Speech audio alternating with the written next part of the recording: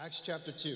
This is after the day of Pentecost. The Holy Spirit had come and baptized people, and um, it was, it was an, another indicator of the Spirit in the lives of people. So um, here's what Luke writes that happens to the people that accepted Jesus Christ as their Lord and Savior. You might not be familiar with this particular passage of Scripture, but if you are, the day of Pentecost, the Spirit comes down and people think that the, the apostles are, are drunk. And what does Peter do? He stands up and he says, These men are not drunk as you suppose, right? And then he gives them a sermon. And the Bible uses this word, says they were cut to the heart. And then they ask, what, what should we do? And then Peter says, This is what you should do. You should repent. You should repent from this wicked generation, right? Give your heart. Give your heart to the Lord be baptized, right? For those of you that have not been baptized, this is a good moment for you to, to adhere, maybe, you know, come to Fresh Start class and, and get baptized. And, and, and then here's the action of the people that received Jesus Christ as their Lord and Savior. It's powerful. Acts chapter 2, verse 42 says, They, de- they devoted themselves to the apostles' teaching and to the fellowship, to the breaking of bread, and to prayer. Everyone was filled with awe at the one, many wonders and the signs performed by the apostles. It says verse 44 says, All the believers, that's all the people that were cut to the heart, they gave their heart to Jesus Christ, were together and had everything in common. They sold property and possessions to give to anyone who had need. Every day they continued to meet together in the temple courts. They broke bread in their homes and ate together with glad and sincere heart, praising God and enjoying the favor of all the people. And the Lord added to their number daily those who were being saved.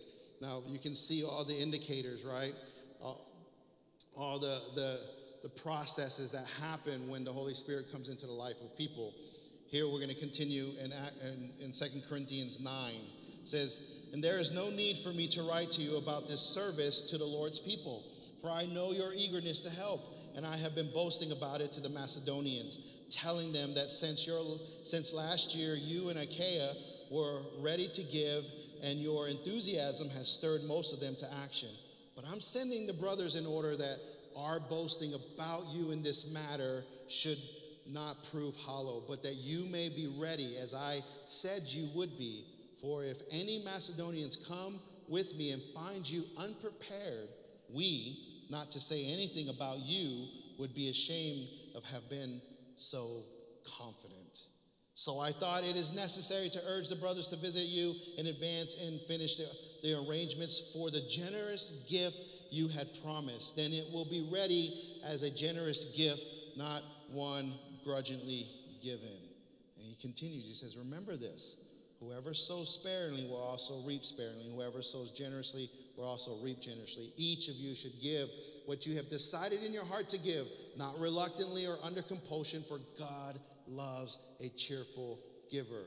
And God is able to bless you abundantly so that in all things, at all times, having that you need, all that you need, you will abound in every good work. As it is written, now he's, now he's quoting the prophets. You, they have freely scattered their gifts to the poor, their righteousness endures forever. Now, he who supplies seed to the sower and bread for food will also supply and increase your store of seed and will, will enlarge the harvest of your righteousness. You'll be enriched in every way so that you can be generous on every occasion, and through your generosity will result in thanksgiving to God this service that you perform is not only supplying the needs of the Lord's people, but it's also overflowing in many expressions and thanks to God. Because of the service by which you have proved yourself, others will praise God for the obedience that accompanies your confession of the gospel of Christ and for your generosity generosity in sharing with them and with everyone else and in their prayers for you, their hearts will go out to you because the surpassing grace God has given you. Thanks be to God for this indescribable gift. Oh my gosh, a lot of scripture. But can you see the story that's building up? Can you see what the Holy Spirit does in the book of Acts and how it continues in Paul's missionary journeys to the church of Corinth? the spirit of generosity, the spirit of giving. In the book of Acts, they sold their possessions, they gave to people in need. There was this generosity of their time. They broke bread together. They, they sat with the apostles and they devoted themselves to the teaching. And so, again, as we learned last week, there's indicators of a spirit filled life. And so we're going to learn uh, this, this morning another indicator. Let's pray. Heavenly Father, we thank you for your word. We pray that you continue to move in our hearts and our lives. God, as, as your scripture teaches so many subjects and so many topics, God, as we learn the topic of generosity today, God, I pray that our church would be a church that lives in, in grace. It'd be a church that lives in the grace giving of the Lord. God, that we would not be people that withhold, but we be people, Lord God, that show our faith through how we're generous, Lord. And we thank you, Lord, for everything that you're doing in our lives. In your holy name we pray. Amen and amen.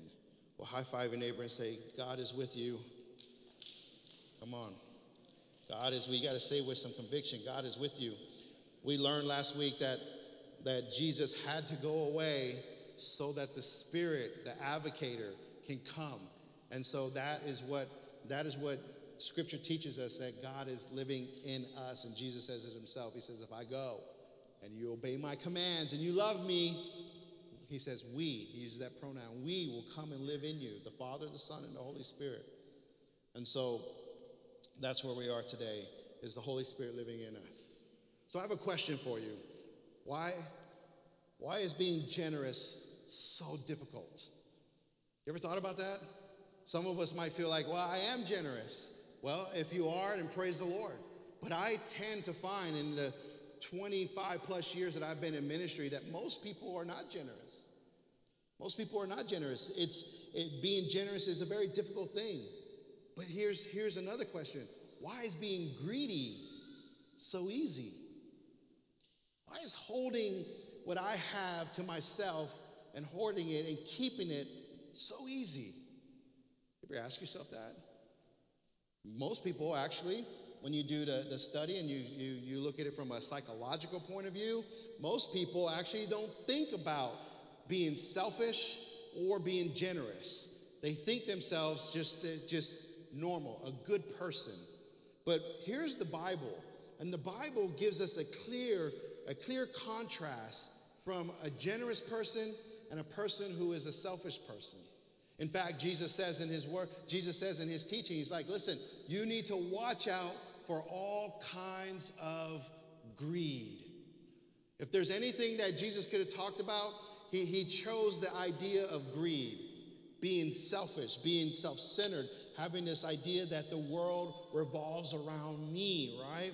All that's a greedy attitude. Greedy is not just holding your money back, greed comes in so many different forms.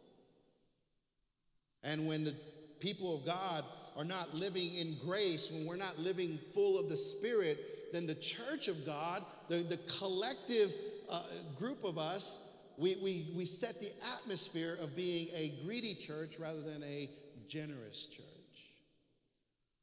And, and the Spirit doesn't want us to do that. The Spirit doesn't want us to live that way.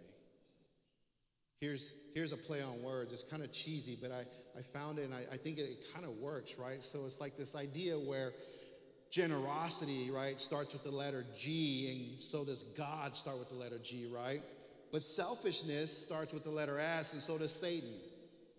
Starts with the letter S. I know it seems cheesy, but if I can just get that in your thought process and go, listen, the more I am selfish, the more my character lines up with Satan.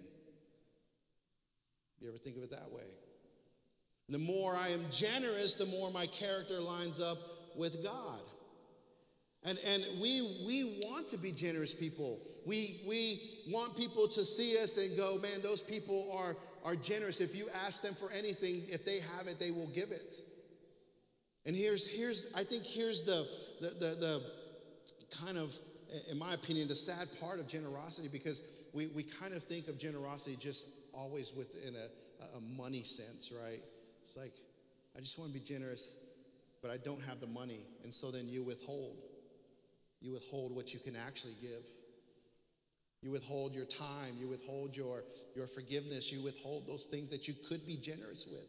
And I'm here to teach you this morning that generosity, it, it doesn't just start and end with our money, but it, it, it bleeds into every area of our life, right? You could be generous with a smile. Some of us, it, it, it, it like, it'll break our soul to smile.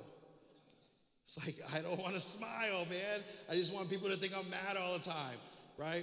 But you can be generous with a smile. Smile goes a long way. If people are having a bad day and you just smile at them, you don't know what you're doing, but because you were generous with your smile, right? Some of you, it's hard to smile.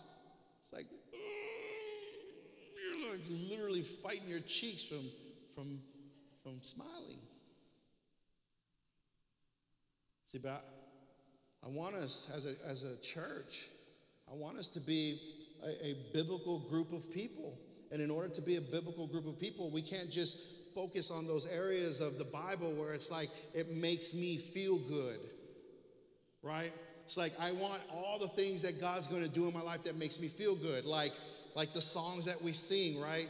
I, I, I stand secure and promise because He's surrounding the thing that's surrounding me. But if you study the Bible, you'll know that God puts His people, He puts His people in, in, in positions to always be tested. Because He wants to know where your faith lies. He wants, he wants to mature us, He wants to challenge us. And so the testing of generosity is no different. God gives you opportunity. We read it in Corinthians. It's like there's opportunity for us to be generous on all occasions, at all times. There's opportunity for us to be generous. And if we withhold that, the test that the Lord puts our life in, then He begins to withhold His blessings as a father. If He's a good, good father, then He's going to discipline us, the Bible says. God disciplines those He loves. But one thing I learned about generosity is that it's contagious. It's like laughing. You ever sit in a room and, and if you're just in a bad mood and someone just heard a funny joke or someone saw something funny and they just, they're laughing so hard that you're like, why is that person laughing? And before you know it, you start laughing. You're just laughing. You have no reason why you're laughing. It's like everyone else in the room's laughing. It's like, let me laugh. And so that's what generosity does. It's contagious, like laughing. When a group of people are generous, it, is, it changes the atmosphere. It changes the way we worship. It changes the way people that are new to the church that might come in as a visitor, they receive a different type of spirit in this place because we're generous. It's contagious. It's contagious. And so we want to be generous people. So these, I have these ideas for us here out of, out of the passages that we read. So the first idea is generosity is contagious. And, and as, as a born again believer, there's a passion in our life. So, in Revelation, the church of the church of Ephesus, right? The church of Asia, they, they, there's seven churches, and one of the churches gets gets this this call out. And it's like, you're doing all these good things, but there's one thing that you need to do, and that's return to your first love. It's return to your first love. Do you remember the first time you got saved? Do you remember the first time you gave your heart to Jesus? You had such zeal, such passion. There was this enthusiasm about you. There was this willingness to do and go anywhere that the Lord would send you, right? And, and, and so that's contagious. One, one of the challenges, I think, for Christianity, Christianity is longevity, is serving the Lord for so many years. We, we can become dormant, stagnant. We, we can become, we can put ourselves on autopilot and we're just cruising down this highway of life and there's no passion about your life for the things of God. But did you know that generosity can change that? if you start practicing generosity, you start practicing what it means to give your life again, what it, what it means to pour your hours into the things of God, pour your hours into people's lives, that's generosity. and it becomes contagious. And not only in your life, but in the life of, of the people around you. As we just read from, from Corinthians, Paul's like, listen, if you're generous, God's going to supply all your needs on all occasion, and the people around you are going to notice. They're going to notice, and they are going to become, they're going to be affected by your generosity. And so, here's, here is, here's what he says in Acts 2, I mean, excuse me, Corinthians 2 9. He says, For I know your eagerness to help, and I've been boasting about it to the Macedonians, telling them that since last year, you and Achaia were ready to give, and your enthusiasm has stirred most of them to action. It's like because they heard. So there's Corinth, little city Corinth, and then there's the providence of Achaia, where Galatia is. They heard about the generosity of the Corinthians, and it motivated them. They wanted to be a part, they wanted to take part in giving an offering. Here's what Hebrews 10 says, says, let us consider how we may spur one another on towards love and good deeds, not giving up meeting together as some are in the habit of doing, but encouraging one another, and all the more so as you see the day approaching. Here's Paul. He's like, I told them the need, and they were eager and they were, they were excited to give. And their enthusiasm, it, it stirred most of other people to give. He writes in Hebrews, he says, Listen, we have to think about ways to spur one another on. We have to think about ways how to encourage each other, not to, not to give up the meeting of one another as the day approaches. We have to, we have to encourage one another to do good. That's the generosity, contagiousness of our life. It's when the Spirit lives in us. It's no longer about us, but now, how may I spur you on? How may I encourage you to do what God wants you to do in your life? Because generosity is contagious. And when you remember back to when you first got saved, when you remember how eager you were for people to know about your relationship with Jesus, right? So, so think about that memory and then compare that person, the person that first fell in love with Jesus, to the person you are today. Is your enthusiasm the same? Is your excitement for the things of God the same? Because if they are, then praise the Lord because that's what it should be. In fact, it should be even better. But if they're not, and the comparison of the the person that got saved years ago or months ago or weeks ago, they, that fire, you know, is not burning anymore. And that's a good indicator. It's a good indicator that we're, we have slowly pulled away from the things of God. Because when you're full of the Spirit, there's this generosity that flows out of your life. And you're passionate and you're excited about the things of God. A passionate Christian, listen, can motivate people to pray. A passionate Christian can motivate people to serve, can motivate people to give. A passionate Christian, they, they can motivate people to invite other people to church. When's the last time you've had any type of evangelism in your life where you're sharing the gospel of Jesus Christ or you're inviting people to come and partake and hear the word of hope? generosity is contagious. Here's the second point is generosity enriches us and enriches our lives. Makes you better. Like anything else in your life, like any discipline in your life, you if if you don't practice generosity, it will not happen. It will not happen. And Paul's words of encouragement for them to be enriched in every way. This is what he says. He says, Remember this Whoever sows sparingly will also reap sparingly. Whoever sows generously will also reap gener- generously. Each of you should give what you have decided in your heart to give, not reluctantly or under compulsion, for God loves a cheerful giver. And God is able to bless you abundantly, so that in all things, at all times, having all that you need, abound in every good work. And we skip down to verse 11 says, And you will be enriched in every way so that you can be generous on every occasion. And through us, your generosity will result in thanksgiving to God. Here's Paul. He's like, listen, if if you sow, you sow the level that you sow, the level that you decide that you want to give, is the level that your life is going to be enriched. He, he connects the two ideas. It's like you'll be enriched in every way so that you can be generous on every occasion.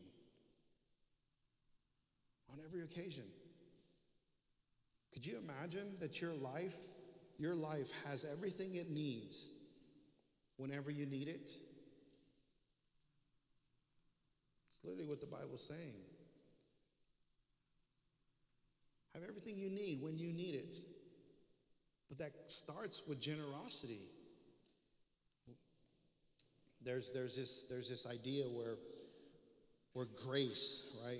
Grace is freely given, right? It's, it's, it's not based on any merit that you have. And, and I think sometimes the church of God, we confuse the grace with works because we say, well, we're not saved by works. So I want us to think about this. When, when we are talking about salvation, how does a person go to heaven? How does a person spend eternity with God? Well, that's by grace. Paul says no one, no one can earn that salvation. It is by grace. It is the good merit that God has given us by his son Jesus Christ. So what do we do? How do we engage with that grace? Well, that's through faith. I believe that Jesus Christ is the Son of God, and He died on the cross, and God raised Him from the dead for my sins. Right? We take personal responsibility for my sins. Now that's salvation. And, and here's works, because the Bible talks about works all the time in Scripture. In fact, we just read it out of Corinthians, right? That you'll be generous on every occasion so that you can produce good works out of your life. Out of your life. James says, he's like, listen, if you have faith, I have works. Faith without works is dead. So, I think this is this needs to be very clear to our hearts. Salvation comes by grace. No one, you can't earn that. You can't buy your way into heaven. You can't, you can't do so many good deeds so that you can get into heaven. That is only by grace and faith alone. Salvation. But now that you are saved and the Spirit of God lives in you, now there are works that need to come out of your life. And those works are not for your salvation because we already received salvation freely from Jesus and from God the Father and the Holy Spirit. But now we have to work. And generosity enriches us. And when we enrich, when we have an enriched life, Paul's saying that we're working. We're working. We're doing things for the kingdom of God. You want, if you are a lazy person, or you know someone who's lazy, you look at their life and you go, man, I am not accomplishing anything right now. There's like no work out of my life. And because there's no work out of my life, you lazy people slip into this depression because that's not how they were designed. They were designed to produce things. And so, generosity in our life enriches us. It enriches us because we're doing good deeds. We are, we are engaging with the kingdom of God. I, I, need to be clear about that. This is not just doing random works in your life, but you're engaging with the kingdom of God to advance the kingdom of God. That's what spiritual generosity is. Like, I'm going to give my life so that the kingdom of God will flourish. What does Jesus say? He says, There's no greater love than this than a person who lays down his life for someone else. Every time you are you are living a generous life and you're giving of yourself, that means you're laying down your life for people that that are going to come into this this atmosphere of worship. Maybe for the first time. Maybe they return, they've been gone forever. But this is the atmosphere that you and I create from our hearts of generosity, from our spirit that engages with God. We are responsible for it. And so he's like, You'll be enriched in every way so that you'll be generous on every occasion. And through us, your generosity will result in thanksgiving to God. And we read it earlier. Luke 6 says, Given, it will be given to you, good measure, pressed down, shaken together, and running over. It will be poured out into your lap. For the measure that you use will be measured against you. Be measured against you. So there's these principles that are that are at work in our generosity and the principle of increase is we will reap in the measure that we sow as you heard me say during the tithe and offering it's like it's like the, if the farmer wants a big harvest well he's going to have to put a lot of seed down if the investor wants a big a big return he's going to have to put a lot of money in the stock market was thinking about this point and this this idea of Las Vegas came into my mind. Now, you don't have to raise your hand if you've ever been to Las Vegas because we already know. We already know, right? Or any casino, right? You've been to Kickapoo or some other casino. We already know, right? It's like if you live long enough, you've been there at least once. You go, okay, I see this idea, right? I see this idea of all these people going into a casino and they're just laying down their money in hopes of what? In hopes of hitting the jackpot, right? No matter what game they're playing, they're like, man, I'm gonna lay down this $15, I'm gonna lay down this $100, right? In hopes of winning. That's why you go, right? That's why people gamble. It's like, oh man, it's a gamble, but what's 15 in return to a thousand, right? Like, I'm willing to pay that price, that odd. But here's the concept it's like, if you want to win big, you need to what? You already know, don't you? See, I knew you've been there. If you want to win big, you need to bet big, right? If you win small, it's because you bet small. It's like, I bet 15 bucks, so you got $10. Like, oh man, what kind of return is that? That's the idea. And here's and here's Jesus. He's saying, listen, the measure in which you give Here's a biblical principle that the world has taken and they've corrupted. The biblical principle is the measure. If you give large, you're going to receive large. But the world, like we do, right? The world, what we do is we, we pervert it, we twist it, we, we take a biblical principle and, and we use it for our own gain and our own good. And that's what gambling does, right? It, it, it, it like hits the heart of a greedy person.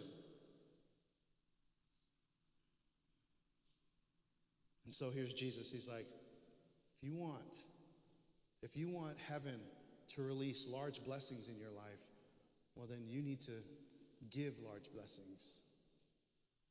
Not just in the church, not just in your tithe and offering. It's beyond that. It's, it's, it's with your relationships. It's with people at work, helping your coworker, you know, advance rather than you just advancing. Like we don't think that way. It's just like it's, it's, it's beyond us to think like, man, I could actually help this person get the next promotion. But if I do that, then I'm going to be looked over. And here's God. He's like, he's like, oh, you see, the problem with your generosity is that it's, it's attached to this earthly thing. But if you trust me, if you trust me, even though that person gets the blessing, I'll take care of your needs. That's a big measure. Think about that. That's a big measure that I had just given someone else so that their life can advance. That's literally laying down your life for someone else. And what is and you're like you're worried about your finances and here's God. He's going, "Hey, I'm going to enrich your life on every occasion. On every occasion your life's going to be enriched. And he's going to give you something money can't buy. He's going to give you peace of mind. He's going to give you joy. He's going to give you something that money cannot, cannot deposit in your heart. Assurance. Assurance that He is with you. See, the, the, it's the principle of increase, the principle of intent is, is we reap as we sow with the right motive. Listen, God doesn't, God doesn't want us to be sad givers, right? Who are grudgingly giving to the kingdom. He doesn't want sad givers. He doesn't want mad givers who, who do it out of, they do it out of just discipline. They're angry that the fact, at the fact that they have to do it. No, the Bible says that He wants cheerful givers, that He loves cheerful givers, people who are willing to give. I love the story in Acts chapter 2. That's why I read it to you, is because these people, these people show up. They show up for the day of Pentecost and they travel from all over the world to come and offer their sacrifices, Jews. And when they receive salvation, when they received salvation, it was the 120 that got baptized in the Holy Spirit and began to speak in other tongues. It's the, it's the 3,000 that received salvation. Those are the ones that were cut to the heart. See, there's a different, there's a different spiritual uh, principle at work there. And, and the people that were cut to the heart and they accept Jesus Christ as their Lord and Savior, they repented. No one had to tell them, you should go to discipleship class. No one had to tell them, you should probably fellowship with other believers. No one had to tell them, you should probably sell your possessions and your property so that you can give it. Are you, are you catching it here? See, when the Holy Spirit, when you're living full of the Holy Spirit in your life, no one has to tell you that you should probably volunteer in your church. Because the Spirit's telling you. No one has to tell you that you should probably give tithes and offering to support your church. Because the Spirit's telling you. No one should te- have to tell us we should break bread with one another in fellowship. Why? Because the Spirit tells you. Do you see the difference of being a sad giver, begrudgingly, being an angry giver? Oh, I don't want to do this. God's always asking money from me. He's always asking my time. He's always asking me to forgive people. Like, you do it anyway, you do it out of anger. Versus the person who does it cheerfully and the person who does it does it with a peace of heart, with the right motive. The right motive. The motive is, man, I'm full of this. The Spirit lives in me. I enjoy giving. I enjoy watching other people receive. I enjoy watching their eyes light up when a need is met because God has given me the opportunity to meet a need. I enjoy when my church flourishes because, because they have the resources and the funds in the house to do ministry in our community. I enjoy, and it, and it brings joy to my heart. That's being filled with the Spirit. That's, that's, that's reaping and sowing because you have the right motive. And the motive is to please the Lord. The motive is to serve God. The motive is not to be noticed by other people, right? But to be noticed by God. Jesus even identifies this. He says, listen, when you give, don't practice your righteousness in front of people. Don't be like the hypocrites who do it in the synagogue, who do it in public. No, do it in secret. He says, Don't let your right hand know what your left hand's doing. When you do it, when you give to the Lord, do it in secret. And God will reward you. The, Jesus says that there's reward for when we give to the kingdom of God. There's reward in our life, there's reward in our soul for this, this, this level of generosity. He's like, people who practice their righteousness, I need you to get this right? They, those are the angry givers, those are the sad givers, those are the people that want other people to notice how, how righteous they are. When they practice their righteousness in public, Jesus says they've received their full reward. The reward that everybody knows, the reward that everybody looks at them as a, as a person of righteousness, a person, you know, of generosity. They've received their reward. That, that's how far it goes. But if you do it in secret, your Father sees you and He will reward you. I don't know about you, but I would rather receive a reward from God than an applause from man. I mean, it's a no brainer. It's like, I'd rather God reward me than, than to receive a thousand thank yous from everyone that I know. It's the motive. How are you giving? There's the principle of proximity. It's like all things at all times. He says this each of you should give what you have decided in your heart to give. not reluctant or under compulsion, for God loves a cheerful giver, and God is able to bless you abundantly, so that you, so that in all things, at all times, having all that you need will abound in every good work. There's that, there's that word again, work. There's work. But here's the thing the Holy Spirit's not going to leave you wanting, He's not going to leave you without. He's going to bless you beyond so that in all things at all times, having all that you need. Not what you want, what you need. I think that's very different. We want a lot of things, but our needs are met. That's the gift. The grace of God enriches us morally and spiritually so that so that we may grow our character Christ.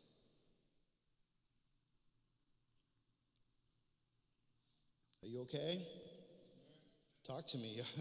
I don't, I don't know if y'all are thinking or you're, you're getting upset with me. But here's, here's, here's, here's another point, and we're going to we're gonna bring it to a close.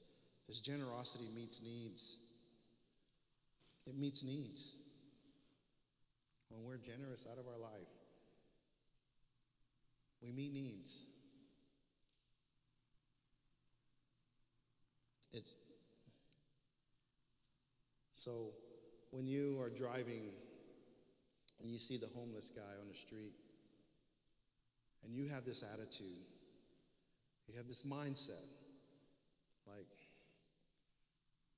man, I have money. I hope he doesn't come to my window because I don't like that tension. I don't like that pressure. And I hope he doesn't make eye contact with me because that's more tension and more pressure. And if your thoughts are, I have this money, but if I give it to him, I know what he's going to do with it. Right? He's going to go buy drugs or he's going to go buy a beer. So we, we want to control. We want to control the scenario. And that's not what generosity does. Generosity meets needs. It's not, it's not do I, do I determine the need? No, you don't. You're the one that God gave seed to so that you can meet the need. And the need is this person, this homeless person, is standing on the street corner and needs funds. And whatever he does with it is between him and God. We don't get to judge. We don't get to decide and go, well, I'm not going to give him money because I already know what he's going to do with it. It's a big assumption based on his, his position in life. No, we have been given seed so that we can take opportunity on all occasions to be a blessing to all people. It doesn't matter if it's a dollar that you give them or it's a $50 bill. It doesn't, doesn't matter. We don't get to control the need. What we do is we get to be a, a, a conduit for heaven to bring seed into our life so that it flows right out of us. And the moment that we begin to decide whether that's a real and legitimate need in someone's life, we begin to bottleneck our conduit. And you wonder why God doesn't bring blessing into your life is because you bottlenecked the conduit. You decided what a need was. You decided that, you know what, you didn't want your money to go to these things over here. No, no. God gives you the seed so that it can flow through you so you can meet a need. You can meet a need.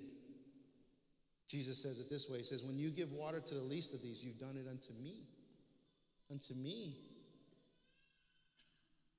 You see, there's a connection, there's a spiritual connection that happens in this physical world that Jesus says, Whatever you do to the least of these, you're doing to me in the spiritual. And so, a lot of times we have we have church people that don't give in the offering because we in our minds we go, well, they don't have a need. And here's Jesus. He's like, you don't get to decide. I gave you the seed so that you can release and be a blessing.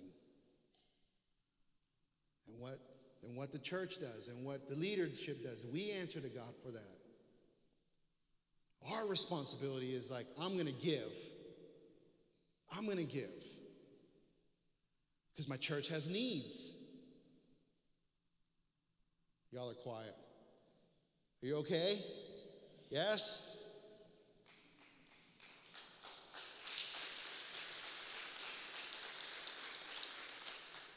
And here, here's the thing about needs. It's like, it's like we, we look at our church and we go, and now I'm going to make it very personal for us, right? As a church, we look at our church and you walk in this building, you go, man, there must be a lot of rich people here because this building's gorgeous, and we'll let all the rich people pay the needs. And that's unbiblical. One, it's a bad attitude. Two, it's not what God has called us to do. But let me help you. We are not rich.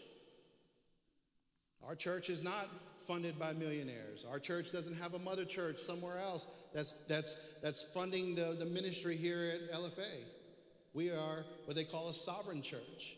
And so, whatever the church congregation gives is what meets the needs of the house. That's the way our denomination works. We're not like the Catholic Church, where the Catholic Church has the mother church and, and, the, and the mother church supports all the little churches. Doesn't work that way. What we do is what you have given. And if you're not giving, you're not meeting a need. And here's, here's the thing about that it's, it's like, well, I let someone else give. And, and, and that's not what generosity is. Generosity is like, the Lord has blessed me. And if you have a job, the Lord has blessed you. He has given you seed. that seed in your life. And, and then for us to withhold that seed, well, we bottleneck our blessing. We bottleneck our blessing. And the church ultimately diminishes because we, the people of God, aren't giving the way we're supposed to be giving. Are y'all quiet? Y'all, are y'all thinking about this? Right? I, I'm, I'm, I'm trying to share with you the, the honesty of our generosity, right? If we are spirit filled people, then the church, I want you to get this the church will never be in need because we're giving at the level that you're supposed to be giving. But when we are not living in generosity and we withhold, we withhold, then the church finds itself in a very peculiar position financially. Doesn't matter our salary because it's not about salary. Someone who makes $20,000 a year, the Bible says your tithe is $2,000. That's what you should give to the church as, as a whole. If you make $200,000, you should be giving $20,000. Are you getting this? It's the heart that it comes from. It's like the measure, and the tithe is like the floor. It's the floor because generosity is more than the tithe. And people are like, well, tithe is Old Testament. I'm, I love people who say tithe is Old Testament because I'm like, great, you're going to give more than the tithe. It's wonderful. If you have $100, the tithe says $10 belongs to the Lord. That's His, that's the first fruit. That's the floor. If you have $100 and you give $10, does that look generous? Not even close. Generosity would be like if you have $100, I'm going to give $40. That's generosity. You decide. When the Holy Spirit lives in us, not only do we want to give, no one has to tell you to give, no one has to encourage you to give, no one has to try to motivate you to give. The Spirit gives through you, the Spirit wants to meet needs. But when we withhold, needs aren't met. Here's the final point, and we're done. His generosity glorifies God. That's the ultimate goal. Is everything that we do in our life glorifies God. Everything that we do. Jesus says this in Matthew 5. He says, You are the salt of the earth. You're the salt. But if the salt loses its saltiness, how can it be made salty again? It no longer, it's no longer good for anything except to be thrown out and trampled underfoot. Says, You are the light of the world. A town built on a hill cannot be hidden. Neither do people light a lamp and put it under a bowl. Instead, they put it on its stand and it gives light to everyone in the house. In the same way, let your light shine before others that they may see your good deeds and glorify your Father in heaven. Again, there's that word deeds, that word works. As Jesus is saying that we as a church, we as a community of believers that follow and listen to Him, we're a light. We're a light in the darkness. We're a city on a hill. And our good deeds, our good deeds, what we do with, uh, with our life and our light, should glorify God in the community in which we live, in the, in, in the job in which you serve. Your light is shining because your generosity brings glory to God. And people ask you all the time, like, why, why do you show up early? And why do you show, why do you why are you the last one to leave? Why are you always so kind and so nice? It's like because I've been changed. I've been changed. Changed? How? Well, when I gave my heart to Jesus, the Holy Spirit comes and lives in me. Because He lives in me, I want to do these things. I love seeing you guys happy when I bring donuts. I love seeing you guys happy when I bring tacos. I love, it's like, man, it's, it's it, it changes people. People who are callous and are hard, your generosity will break their, their callousness. It'll break the hardness and, and it will cause glory to be given to God. Now, they may not stand in front of you and go, Well, I want to worship your God. No, it doesn't work that way. They walk away from you and they go and they sit back down and they ponder about your life and they think about the things that you have. They think about the peace that surrounds your life because they, you know how it is when you work with someone, you're spending 40 hours a week with them. They know your calamity, they know everything that happens.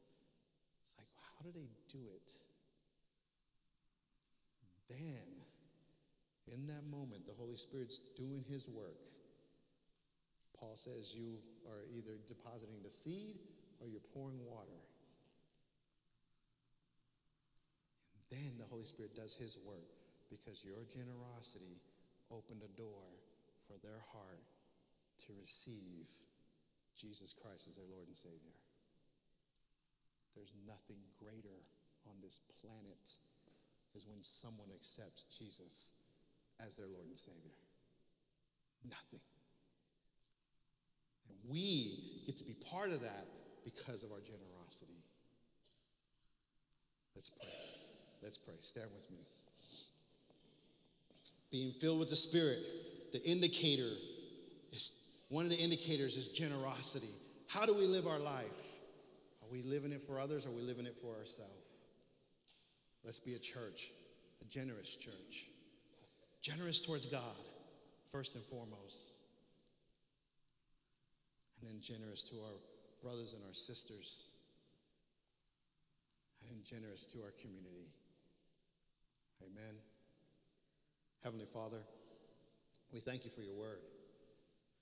God, we, we pray this morning, Lord, if we if we've been selfish, if we've been self centered, if we've been holding back our seed, Lord God, that you've blessed us with, we want to repent of that. I want to say, Lord, that we, we want to be a conduit where you, you bless us so we can bless others. And we'll never be without. All of our needs will be met at all times, at all occasions. Lord, that we will bring glory to your name because of generosity in our life. God, our businesses will flourish because we continue to give. God, our, our, our life, our household will continue to flourish, Lord God, financially because we continue to give. We don't, we don't want to bottleneck the conduit, but we want to release what you've given us. We want to honor you in that, Lord God. We don't want to steal from you. We don't want to take what is our, what is yours, Lord God. You've blessed us with so much. We want to just give it back. And we know that you'll continue to bless us. We want to be the city on a hill. We want our light to shine in darkness. We love you, Father. We love you. We know that you constantly challenge us, Lord God, to become more like your Son. Lord, give us the courage to do so. Give us the courage, Lord God, to move past this, this challenge this, this barrier in our life, Lord God, to be generous. That we would trust you, that you're the anchor in our. Not this world, not this money that we make, but you. You. Give us the strength to execute what we need to in our lives. In your holy name we pray. Amen and amen. Well, may the Lord bless you. May he keep you, cause his face to shine upon you, give you grace and peace for now and evermore. Go and live a generous life. God bless you.